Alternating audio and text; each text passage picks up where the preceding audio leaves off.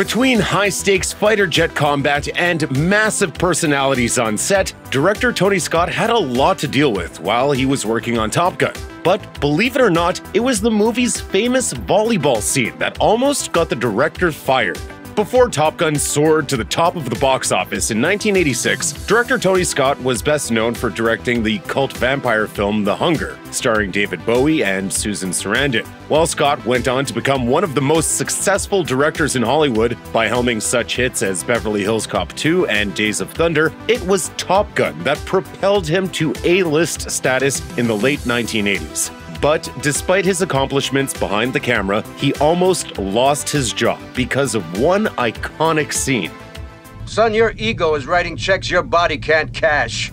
In a well known, nearly two minute scene, sweat glistened pilots Maverick, Goose, Iceman, and Slider play a game of volleyball while the Kenny Loggins song Playing with the Boys blasts in the background. The director spoke about the scene for Danger Zone, the making of Top Gun, a documentary featured on the movie's 30th anniversary Blu ray and DVD but I didn't have a vision about what I was doing other than just doing soft porn.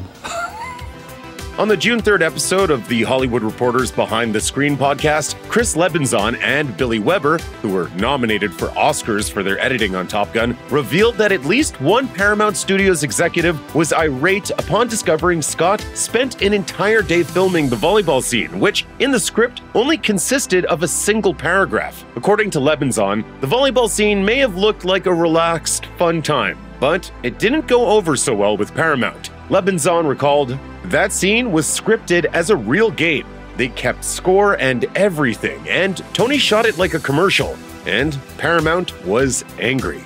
Billy Weber further revealed director Tony Scott almost lost his job after filming the volleyball scene that has now become so iconic that it was reimagined for the 2022 sequel Top Gun Maverick. According to Weber, the studio was so pissed off, the head of production, Charlie McGuire, he said, I'm gonna fire him because he spent a whole day shooting this scene. And then, of course, it turns out it's one of the most famous scenes in a movie.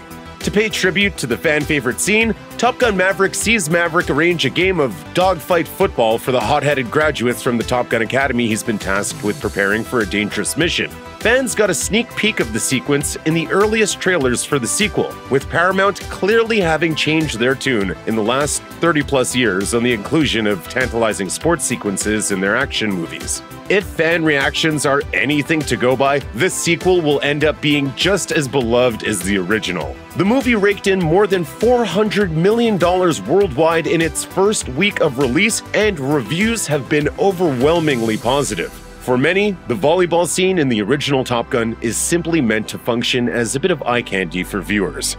For a few glorious moments, audiences get a chance to see some of the hottest actors from the 1980s in peak form play around for a little bit. But according to star Tom Cruise, it's actually more meaningful than that.